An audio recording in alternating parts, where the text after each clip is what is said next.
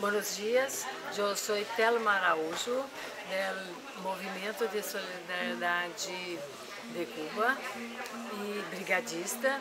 Eu estou participando da 24ª eh, Brigada Sul-Americana de Trabalho Voluntário e, e, com muita alegria eu estou participando eh, da quarta conferência pelo equilíbrio do mundo.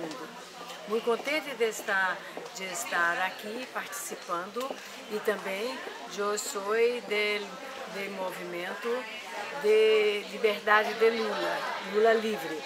E eu estou, eu estou muito contente de, de Cuba ter assumido a campanha para a libertação de Lula. E vamos a ser, em, em Brasil já está sendo lá, a campanha, pero quando, quando Cuba é, tem esse é, compromisso de com essa campanha vai quedar muito maior, muito mais, mais forte.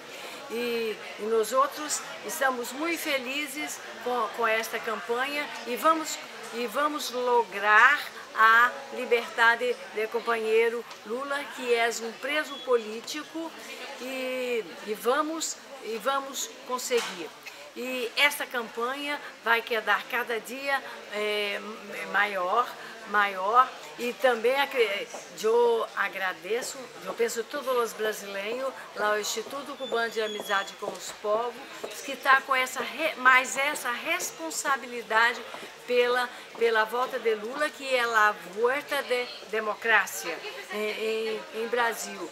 E todos unidos. A hora em, em Brasil estamos dizendo, é, ninguém solta a mano sempre todos juntos.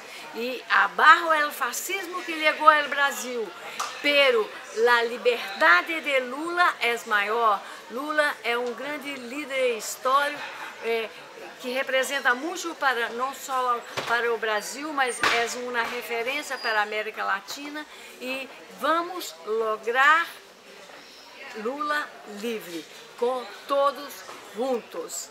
Viva Lula! A barra é fascismo.